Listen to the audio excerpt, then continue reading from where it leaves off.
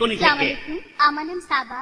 আমি একজন স্টুডেন্ট আমি আপনাকে একটা প্রশ্ন করব জাকির ভাই একজন পুরুষ গেলে হুর পাবে অর্থাৎ আয়তলোচনা সুন্দরী সে পাবে। কিন্তু নারী গেলে সেখানে সে কি পাবে?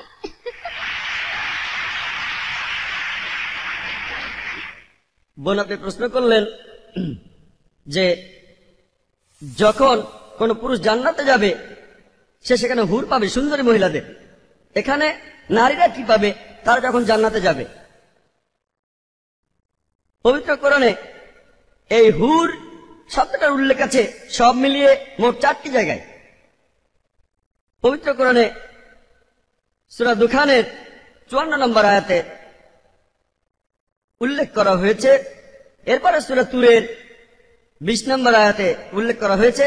এরপরে সুরা রহমানের বাহাত্তর নম্বর আয়াতে উল্লেখ করা হয়েছে। আর সবশেষে সুরা ওয়াকিয়ার বাইশ নম্বর আয়াতে উল্লেখ করা হয়েছে।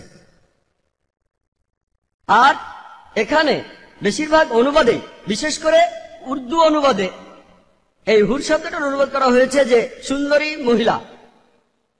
যদি এই হুর শব্দটার অর্থ হয়ে থাকে সুন্দরী মহিলা, তাহলে মহিলারা জান্নাতে গিয়ে কি পাবে? সত্যি বলতে, এই হুর শব্দটা হলো বহু বচন। এক বচনে হাওয়ার, যেটা পুরুষের জন্য প্রযোজ্য। আর হাওয়ার, এটা নারীদের জন্য প্রযোজ্য। এখানে আসলে হাওয়ারের চারিত্রিক বৈশিষ্ট্য বোঝানো হচ্ছে। এর অর্থ, বড়, সাদা, সুন্দর চোখ।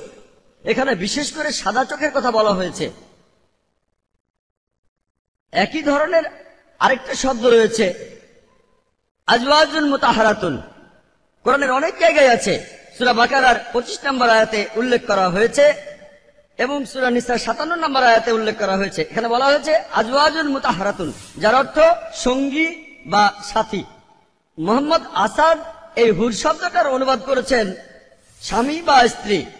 আর আবদুল্লাহ ইসুফ আলী, তিনি অনুবাদ করেছেন সঙ্গী।